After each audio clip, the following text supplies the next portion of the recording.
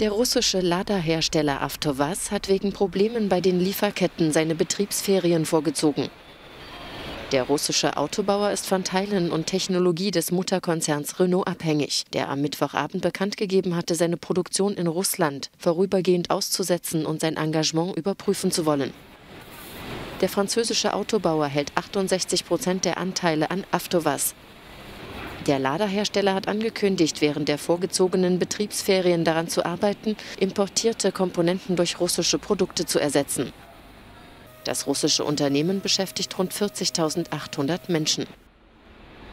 Die französischen Unternehmen Total Energie, Auchan und Leroy Merlin hingegen wollen trotz des Boykottaufrufs des ukrainischen Präsidenten Volodymyr Zelensky ihre Standorte in Russland vorerst weiter betreiben.